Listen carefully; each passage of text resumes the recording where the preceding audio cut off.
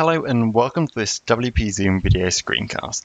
In this video I'm going to be showing you how to install and set up the Social Icons widget by WP Zoom. Now I've already installed the widget and you can do this just by going to Plugins, Add New, doing a search for Social Icons widget and then making sure to select Social Icons widget by WP Zoom. Install and activate the plugin and then head to Appearance and then Widgets and you'll get to this screen that I'm on now. This is the WordPress widget page, and on your left you're going to find available widgets, and on the right you'll find areas of your site you can drag and drop onto. Here I'm using a WP Zoom WordPress theme, but this will be very similar depending on which theme you're using. You just might have fewer uh, widget areas on the right hand side than I've got here. So I'm going to scroll down and find Social Icons by WP Zoom and drag and drop this onto the widget area I wanted this to display in. So I want this on the sidebar, so I'm going to drag and drop. You see I can expand this and collapse it and drag and drop to move that around as well. So let's put that at the top of the widget area and now you'll see we get to the settings. I'm going to add a title here. So I'll say follow me on social.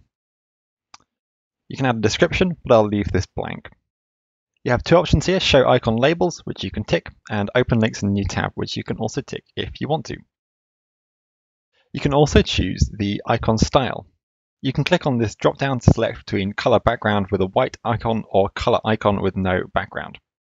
Here I'm going to select the color background with a white icon. And if I do that, you'll see I can choose between um, rounded corners, round or square. You'll see the live preview of the icon changes at the bottom of the screen there. You can also select the icon padding and size in pixels. So you can make these bigger or smaller if you'd like. And you also have um, global uh, color options to set for the icons. So you can use this color picker and you'll see if I select that, then the live preview of the icon is going to change here. And you can set that to any color that you like. So I could set that to um, a dark blue purple there. Um, and I can also change the hover color. This will be the color that displays when you hover over the icon. So I could set this to one of the defaults or use the HTML hex code um, in order to set that up if I'd like to. And now we've got this um, color hover. We now get onto the items themselves. You can drag and drop these to move them around as well as um, fill in your links here. So here I would add, for example, facebook.com slash wpzoom or twitter.com slash wpzoom or instagram.com slash wpzoom. I can delete any I don't want, as well as add more by pressing the add more button. You can click on this icon here in order to select between all of the available icons. There are an awful lot of icons available, so you'll be able to find any icon that you want. You can select between different icon kits. So here we've got Socicons.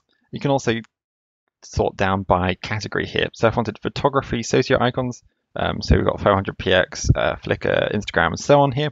Um, I could do that. I can also choose between the different icon sets. So these have different icons available. I can again um, sort by any of these. We've got genericons as well, and again, um, that's just got the one category. That's just um, some regular social icons. And finally, got font awesome as well, and you can choose between um, all the different categories for all of the different icons here.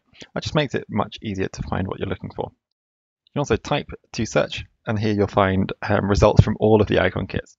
So you'll see that I've um, got a couple of different options for Twitter, say. Um, let's say I want to add back in an Instagram. I can choose between the Instagram logo that I want. Let's go for the generic icon one there.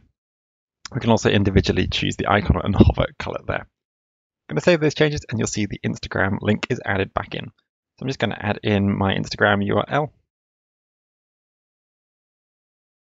Another nifty feature, if you go to add more, is that if you start typing, the uh, social icons widget is going to automatically try and work out which social network you are typing, which social network you're adding and automatically add in the correct icon. So here if I add in flickr.com, you're going to see that um, that adds in the Flickr logo there. That's just a really nice touch that makes it even easier to use. If you want to add an icon with an email address, you can use the mail to function.